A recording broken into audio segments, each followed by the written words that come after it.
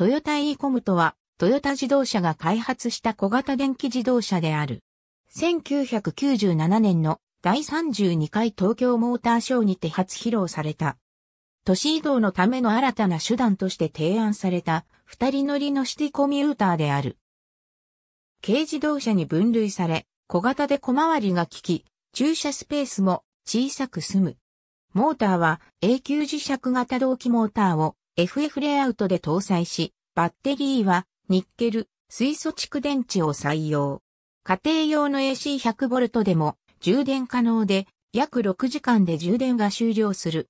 最高速度は 100km、H、1回の充電で 100km 程度走行可能である。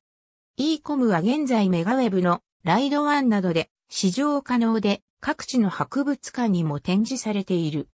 メガウェブ開業時から2010年12月30日までの間は e コムライドという案内機乗式鉄道上を自動運転する e コムに乗車するアトラクションが存在した。また、電気自動車共同利用システム、クレヨンにおいて重要な役割を果たす。クレヨンとは ITS を利用した e コムの共同利用システムのこと。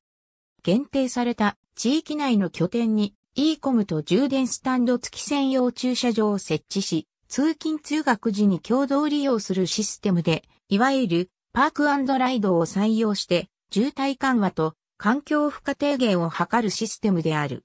利用者はイグニッションキーの代わりに IC カードを所持し、利用予約や決済などはインターネットを通じて行う。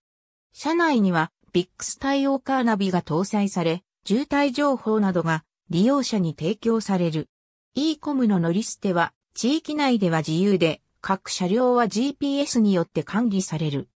トヨタではこのクレヨンの実証実験を1999年から2006年まで本社周辺の豊田市、刈谷市、安城市、大府市においてグループ企業4社、電装、愛心 AW と共に行っており、他にも京都市など各地域で実証実験を行った。